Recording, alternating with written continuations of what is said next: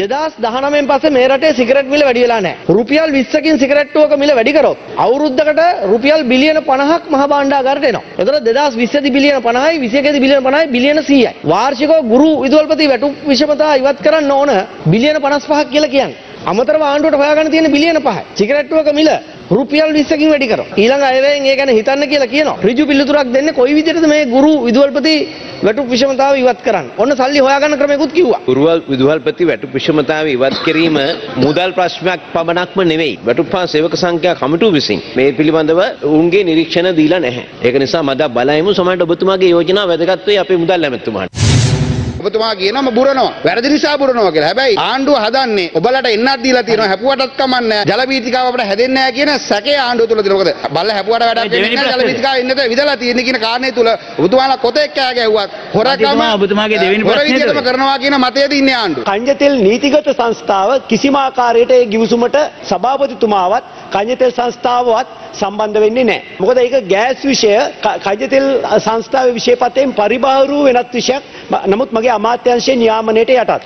ඇහුව නේද දෙවෙනි වතුර ප්‍රශ්නේ? බෙහෙත් විද බෙහෙත් විදපු ප්‍රශ්නයක් ඇහුවේ. කතානායකතුමා තරහෙන් ඉන්නේ නේ. එමෙ වෙන්න එපා කතානායක. ඇමතුමනි ඔබතුමා ප්‍රකාශයක් කළා තිබ්බා මම පුදුම වුණා තිරිකුරාමලේ තෙල් ටැංකි සියල්ලම ඉන්දියාවට දීලා තියෙනවා කියලා. මේක සම්පූර්ණ වැරදි ප්‍රකාශයක්. තෙල් ටැංකි 100ක් තියෙනවා. ඒකෙන් 15ක් දුන්නා IOC එකට. ඉතුරු 15 තියෙන්නේ ඉන්දියාව ශ්‍රී ලංකාවයි ඒකාබද්ධව මේක දියුණු කරන්න ඕන. ඒක වුණේ නැහැ. තෙල් ටැංකි ඉන්දියාවට පවර්ලා නැහැ. ඒක වැරදි ප්‍රකාශයක් මම කඩගාටු වෙනවා ඔබතුමා ප්‍රකාශ කරා.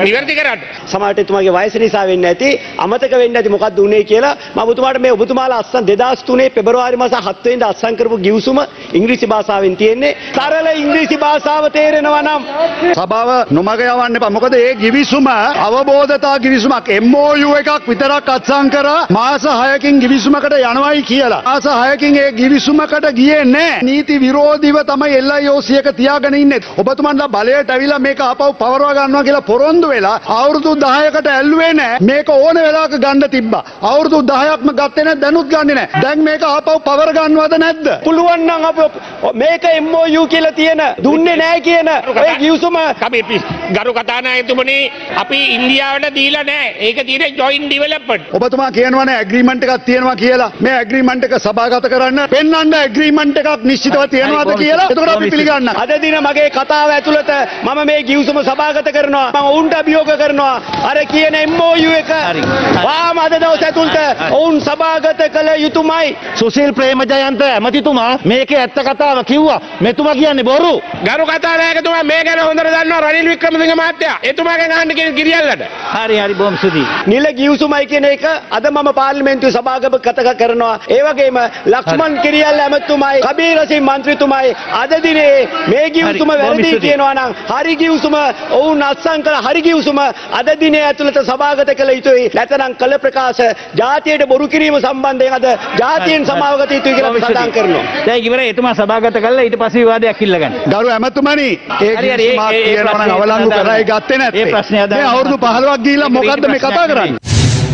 දැන් මේ කොරෝනා එන්නත් කරණයේදී බූස්ටර් එන්නත නැත්නම් අ, තව ශක්තිමත් කරන්න තුන්වෙනි එන්නත ලබා දීමට රජය සූදානම් වන බවට වාර්තා පළ වෙනවා. එතකොට තුන්වෙනි එන්නත විදියට දෙන්නෙත් විවිධ ප්‍රදේශවලට විවිධාකාර එන්නත්ද නැත්නම් ෆයිසර් එන්නතද එහෙම නැත්නම් වෙනත් එන්නතක්ද ෆයිසෙන්නත් මිලියන 14ක් ඇනියුම් කරා. අගිය සතියේ තුල අපි ඒක නැවත වරක් සංශෝධනය කරන්න සිද්ධ වුණා. මොකද ලෝක සෞඛ්‍ය සංවිධානය විසින් නිර්ණායකයන් වගේක් ඉදිරිපත් කරලා තියෙනවා දැනට 65ට වැඩි අය. නමුත් අපේ සෞඛ්‍ය ක්ෂේත්‍රයේ 60 ඉඳන් අපි ගම්මුයි කියන තීන්දුවකට ඇවිල්ලා තියෙනවා. සෞඛ්‍ය සේවයේ ඉදිරියේ වැඩ කරන කණ්ඩායම් වලට ඒ ලබා දෙන්න. දැනට තියෙන්නේ මේ නිර්දේශ පමණයි WHO එකේ නිර්දේශ හැටියට සහ පිළිගත් මතයන් හැටියට. ඒකට සූදානම බොහොම පැහැදිලිව තියෙනවා. මේ වෙනකොට ඇනවුම් කරලා තියෙනවා. ඇනවුම් කරපු ගාන මිලියන 14ක්. නමුත් ඒක අපි සාවර කරා මිලියන 6.8කට අවශ්‍ය ප්‍රමාණය. අවශ්‍ය ප්‍රමාණයටත් වඩා යම්කිසි ප්‍රමාණයක් තිබෙනවා. මේ වෙනකොට 16ක් එන්නත් 16ක් අනුමත කරලා තියෙනවා. එයින් 6ක් 7ක් පමණ අපේ රටේ තිබෙනවා. අපිට අවශ්‍ය වෙලාවට සියලුම දේ ලැබෙනවා නම් ඔය කියන විදිහට අපිට ඒ සන්නාමත් එක්කම යන්න පුළුවන්. හැබැයි ප්‍රධානම වැඩපිළිවෙල තමයි අපට ලැබෙන සෑම එන්නතක්ම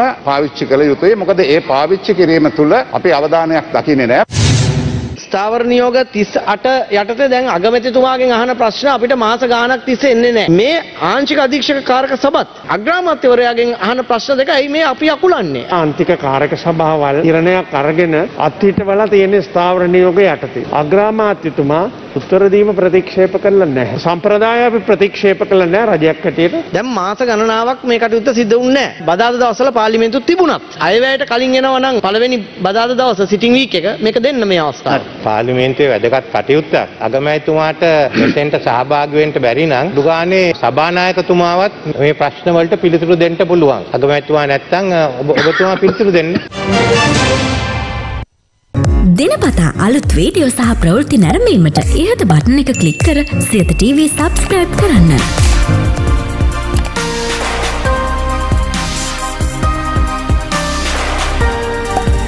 අලුත් වීඩියෝ ගැන මුලින්ම දැනගන්න මෙම සීනුව ක්ලික් කරන්න.